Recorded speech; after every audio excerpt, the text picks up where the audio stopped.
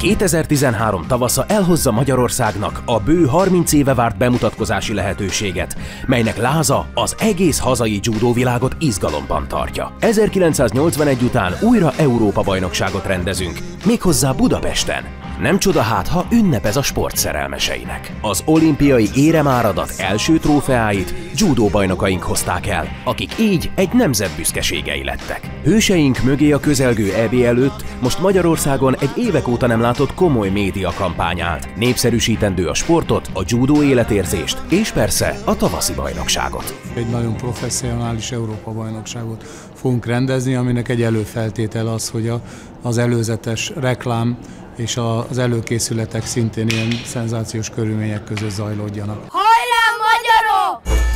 Everybody can learn to és ha judó, akkor nem mehetünk el szó nélkül amellett, hogy milyen sokan kötődnek a judogihoz és a tatamihoz. A cselgáncs rituáléja sokakat rabulejt. Van, akit egy életre, és van, akit eleresztett bár, de gazdag és felejthetetlen útravalóval. Televíziós személyiség, sakkozó, műsorvezető, muzsikus, politikus, étterem tulajdonos, reklámszakember, ügyvéd, gondolnánk, hogy köztük a judo a kapocs.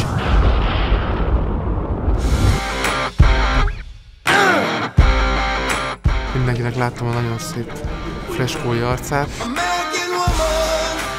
Most a gyújtos lányokat festegetem, hogy szépek legyenek erre a filmre. Viszonylag uh, szólis minket raktak föl, de az is olyan fél óráig tartott. Én nem szoktam magam sminkelni amúgy sem a hétköznapokban, de uh, ilyenkor mindig elcsodálkozom, hogy mennyit dob az emberen egy smink. Gyönyörűek. Gyúdosan mindig Így kéne felmenniük a szőnyegre is. Egyrészt elsősorban sportolók, másrészt példaképek, akik ide kerültek a válogatottból, ők az, a mi példaképeink, az olimpikonjaink, akikre mindenki fölnézhet.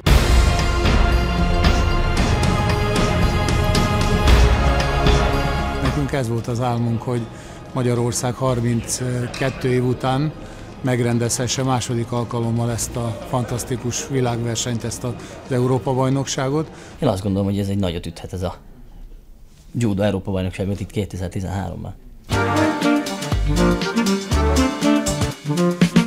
Magunkat kell igazándiból adni, és egy kis judo jelenetet, egy kis judót bele csempészni a dologba, ami számunkra azt mondom, hogy nem nehéz. Szakmailag kell azokat a beállításokat megtámogatni, amiket a filmesek elképzelnek, azt kell judo szakmai szempontból a helyén kezelni. Hősökre szükség van. Tehát abba kapaszkodik az egyszerű ember is, én is szeretnék hősöket, tehát én is gyerekkoromban azt gondoltam, hogy lehet, hogy nem hősnek, hanem példaképnek hívtuk, de jó dolog a hősökbe kapaszkodni. Én abba bízok, hogy ez az EB után ez megmarad, mert olyan jó sikerül az Európa bajnokság mindenkinek, hogy tényleg óriások és hősök leszünk. Azt reméljük az EB után azok leszünk óriások az a cél. A Paplászló sportarénában megrendezésre kerülő Európa-bajnokságot közel 30 országban közvetítik majd. Judósaink pedig végre hazai szurkolótábor előtt mutathatják be tudásukat, rátermettségüket és elkötelezettségüket. 2013 áprilisa a magyar judó tavasza lesz, hogy egy ország skandálhassa együtt. A judó több, mint sport.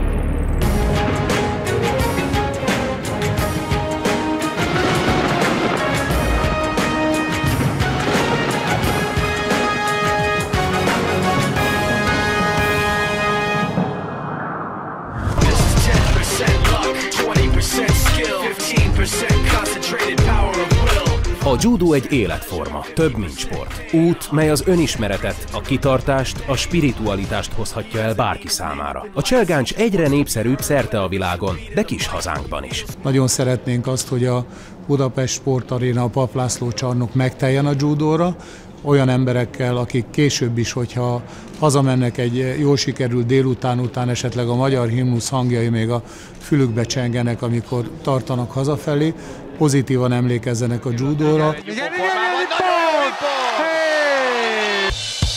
A vialamból egy óriás. Igen, úgyhogy rajtam annyit nem kell majd nagyítani. Az áprilisi Budapesten rendezendő Judo EB média kampányának forgatása, amint azt látjuk is, meglehetősen oldott légkörben zajlott. A versenyzők a fárasztó nap akadályait óriásokhoz méltó hősiességgel vették, sőt, nevetés és cukkolás hangjai töltötték be a több mint 40 fős táptól nyüzsgő hatalmas hangárt.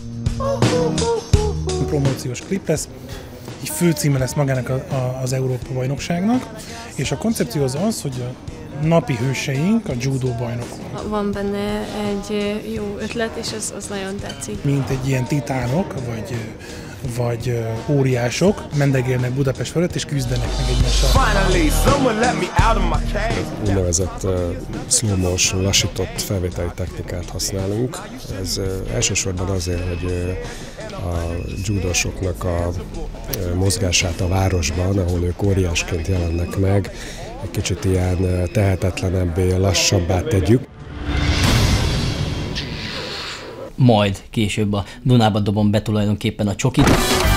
Ebből volt egy e, jó pár szögből felvétel. Nekem ez meg volt, Csabi, neked? Forog! Hősök terére a Városligetbe, de mondtam, hogy akkor eldobok rajta, hogy török bálintig is eldobom.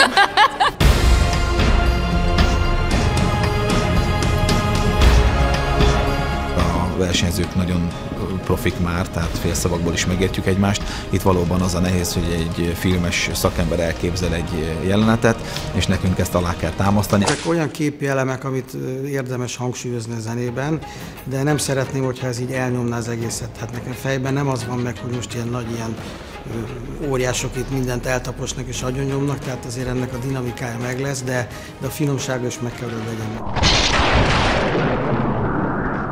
Az emberek tudják, hogy milyen híres ez a judo, mint sport.